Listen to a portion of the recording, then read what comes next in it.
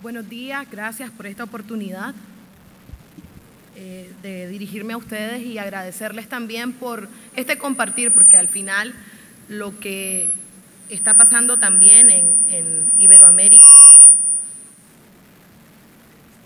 es que no conocemos lo que pasa. Pareciera que vivimos realidades similares, pero la información no fluye y no todos estamos informados adecuadamente. Yo creo que este es un espacio para compartir y para poner sobre la mesa esas diferencias, esos retos y cuáles son las oportunidades. Hoy hablábamos de libertad y derechos humanos, pero yo coincido que no podemos hablar de libertad como un concepto único, sino de libertades. Porque en Nicaragua, del país de donde yo vengo, no solamente se conculca la libertad de expresión, se conculca la libertad de movilización, la libertad de información, la libertad de tomar decisiones en procesos electorales y se conculca la, oportunidad de soñar.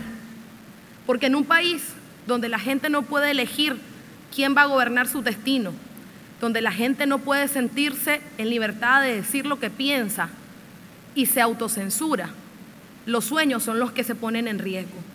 Y somos nosotros los jóvenes los que estamos teniendo temores de ver nuestro futuro, porque estamos abocados a construir un presente diferente.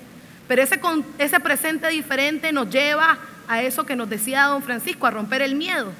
Pero decía Pedro Joaquín Chamorro en Nicaragua que cada quien es dueño de su propio miedo. Y el miedo es un sentimiento natural. Y sobre todo cuando quienes estamos frente a la policía, estamos frente a quienes deberían resguardarnos y darnos seguridad, son quienes se prestan a violentar nuestros, nuestros derechos. ¿Cómo romper ese miedo? ¿Y cómo podemos cambiar ese futuro, ese horizonte, si efectivamente nuestro miedo es real y si nuestro miedo es justificado? Y sobre todo en un país donde murieron 50 mil personas, donde ya hubo derramamiento de sangre y una revolución para que hubiera democracia. Si ya supimos que pasó eso y 30 años después estamos en el mismo ciclo histórico empezando. ¿Qué hacer?